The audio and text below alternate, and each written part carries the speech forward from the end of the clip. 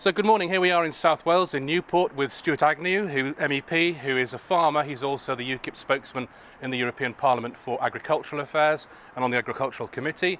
And Neil Hamilton, who is the leader of the party in Wales. He's also an assembly member and the agricultural spokesman in Wales, and of course the candidate in the Newport West by-election, which is due to take place Thursday, the 4th of April. So, good morning, gentlemen. Morning.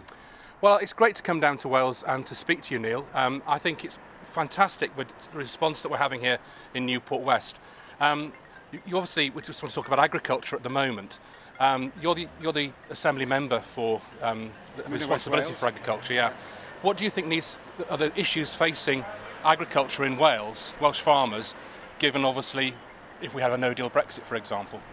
Well, we're massive net importers of food in this country, so there's a big home market waiting to be picked up once we're outside the EU. If the EU is stupid enough to want to impose massive tariffs upon exports from Britain to the EU and vice versa, then it'll be egg on their faces, not on ours. And uh, out of the EU, we can pare down the regulations that tie farmers in knots imposed on them from Brussels. And of course, there's a massive global market in food as well, with the world's population expanding, India and China economies are growing. You know, these are massive new markets which countries like New Zealand have been able to take full advantage of, but we can't because we can't do trade deals independently of the EU. I'm glad you said that because I was talking to Stuart earlier and he was telling me that uh, Australia and New Zealand can't fulfil their quotas. I think that's right. The tariff-free uh, quotas. The tariff-free yeah, quotas. Yeah. Can you tell us about what export opportunities there are in the Middle East, the Far East and so on for Welsh lamb? Well, they're increasing all the time because many countries in, in the Far East are having rapidly expanding economies. Many of them are Muslim countries, so they will not eat pork, and lamb is very popular. So there is, uh, is a market there. Now, just going back to, to, leaving the European Union and agriculture, a lot of Welsh farmers feel rather safe with the EU, but there are three dynamics going on now which make the EU far less attractive to them. The first is big cut in the agricultural budget. Uh, because that is going to finance the new EU army, which we were told during the referendum, referendum campaign was a mirage. Nick so, Clegg said that, I think. Yes, he? he? did. Yeah, uh, and he called Farage, I don't know, fantasising or something. Uh, uh um, kind of like the tuition fees. Yeah, well, yes. Uh, so he, he, was quite wrong on that. So there's going to be less cash available if we were to stay in the EU.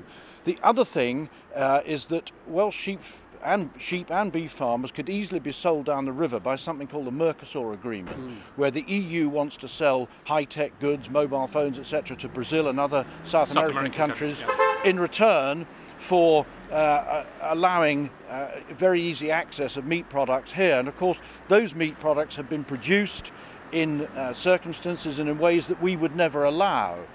This is countries like Argentina and so on with, with yeah, big... Yeah, Argentina, Brazil, uh, um, Uruguay and Paraguay, I think, are the four countries in, in, Mercosur. And so that thread is hanging over everybody. And then, as Neil said, regulation on agriculture just increases by the three R's ruthlessness, remorselessness, and relentlessness as each year goes by. And whether, whether it's being uh, uh, how much fertilizer you can use, mm. Uh, how long you can keep sheep out in the winter because they may cause muck in the watercourses, etc. And particularly on the products we use for animal health, all come under regulation and they always tr are trying to make out now the green lobby such and such a farming product could give you cancer therefore yeah. we must ban it and and with never any idea as to how to replace it. No, what, what Roundup is you can buy in, in, the supermarkets for weed control as a mm. gardener, that's going to be banned now yeah. by the EU, and there is no cancer risk at the concentrations of chemicals that uh, exist in the country. Well, uh, over regulation. And in any argument about glyphosate, mm. I have personally used the concentrated material for years, yeah. often without gloves, often getting the vapour in my face. Yeah. I have been exposed to that perhaps 10,000 times here. more than the average citizen. and you're still with us. I'm 69 years old and I'm still here standing. Ditto, Thank you. And I'm 70. so uh, what, what, I want to ask you, Neil, is about the balance of trade in agricultural products yeah. between the United Kingdom and um, the European Union. Now, of course, the Dutch, for example, their flower industry, their market gardening industry is very dependent on the UK market. Um, French wine, we know about German cars naturally, but that's not agriculture. We're going back to agriculture of citrus fruit, fruit and soft fruit from Spain. So what do you think producers in Spain, the Netherlands, France they don't want a no-deal Brexit either, do they? No, because they'll be in big trouble if uh, the EU's tariffs are imposed upon exports to, to Britain.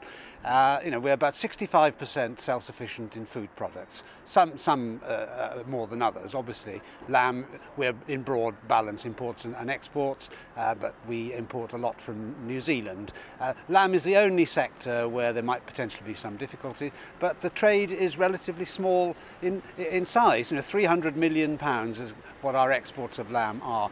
We're a two trillion pound economy. We give eight billion a year to the EU to spend in other parts of Europe. So we can look after farmers and make sure that they still manage the land without having to have sky high food prices and without giving up our right to an independent trade policy. So I say to farmers, you know, the world is your oyster. 85% of the world economy is outside the EU and that's growing, whereas the EU is not. And of course, under WTO terms, we can trade with the rest of the world, which is something really which Stuart alluded to in obviously the Middle East uh, with a ban on pork, the Far East, Australia, New Zealand not fulfilling, fulfilling their lamb quota. So great opportunity for Welsh lamb, uh, lamb industry there. Um, of I mean, New Zealand only uses about 70% of its quota. Exactly that, mm. yeah. But what, what's interesting, of course, the Article 50 process had a two-year preparation um, what do you think, Stuart, about that? Because that's been wasted, hasn't well, it? Well, the whole purpose of that was to resolve these things smoothly, so that when we came to March the 29th, uh, April the 2nd wouldn't be much different. But they have wasted that time basically in trying to revisit Brexit. That's really what's been going on. That was always going to be a problem when we realised that whilst the majority of the country wanted to leave the European Union, a considerable majority of MPs, a big majority of Lords, and the entire civil service all wanted to remain, and these were the people solely responsible for getting us out. And as time went by, human nature can't be defeated, and they started to show their true colours. Well, of course, Theresa May was always a Remainer, we know that. Mm. Um, put, her in, put a, a, a, vegetarian in charge of a butcher's shop, mm. basically. She's kicked, tumbled down Theresa, has kicked the can down the road, and this is the result. So, nothing to fear from a World Trade Organization Brexit. It's established, it's been there since the late 1940s. Out of 192 countries, 164 trade on WTO terms. I think there's a great future for Wales and a great future for Welsh farmers outside the European Union. Thank you, gentlemen. Thank you very much indeed. Thank you. Thank you.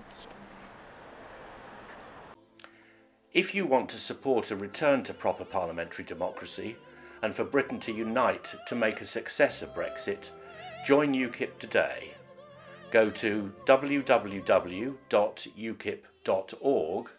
or phone us on 0333 800 6800.